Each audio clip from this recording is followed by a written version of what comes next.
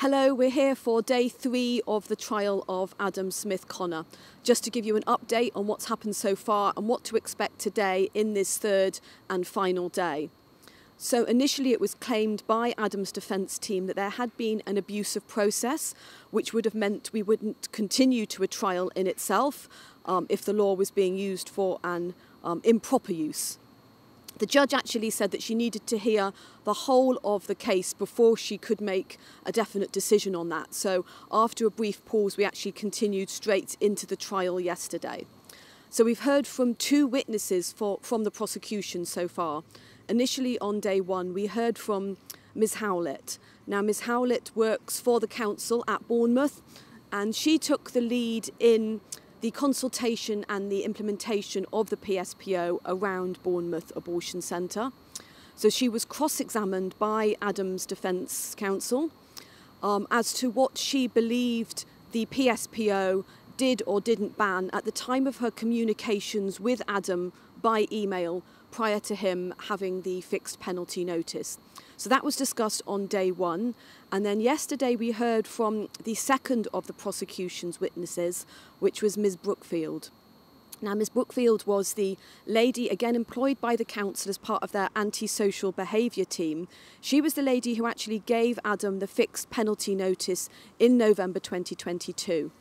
Um, so, um, Ms. Brookfield was cross examined again by Adam's defence counsel um, as to what she saw on that day when she gave Adam the fixed penalty notice. She was um, sat in court whilst various sections of the video were played that were recorded on her body camera while she was interacting with Adam on that day.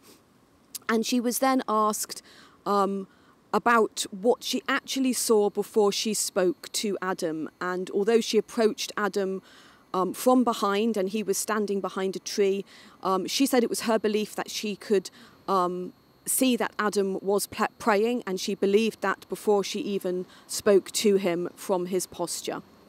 So that was discussed yesterday. Um, we now continue into the third and final day today. There will um, be um, Adam again um, speaking in court today, and then we will have a summing up from both the prosecution and the defence. Um, we will let you know if the judge does give a final verdict today or if um, her judgment is delayed, and we will let you know if that happens um, when she says her judgment will be. So, um, in the meantime, please do keep praying about this case.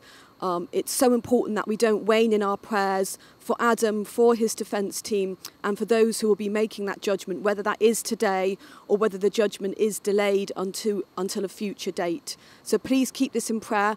Um, it's most likely it will be this afternoon before we can get back to you with any um, further updates on the situation. But thank you so much, and I know Adam has indicated he'd really like um, those who are, who are viewing and watching to know how grateful he is for the prayer support he's received, not only for him, but for his family who are going through a very difficult time um, while this uh, court process is happening.